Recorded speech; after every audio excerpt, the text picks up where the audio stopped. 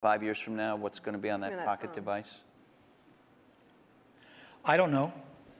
Um, and the reason I don't know is because I wouldn't have thought that there would have been maps on it five years ago.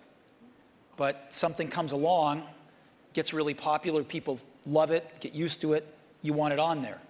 Uh, so people are inventing things constantly, and I think the art of it is, is, is, is balancing what's on there and what's not on there, is the editing function. And um, clearly, most things you carry with you are communications devices.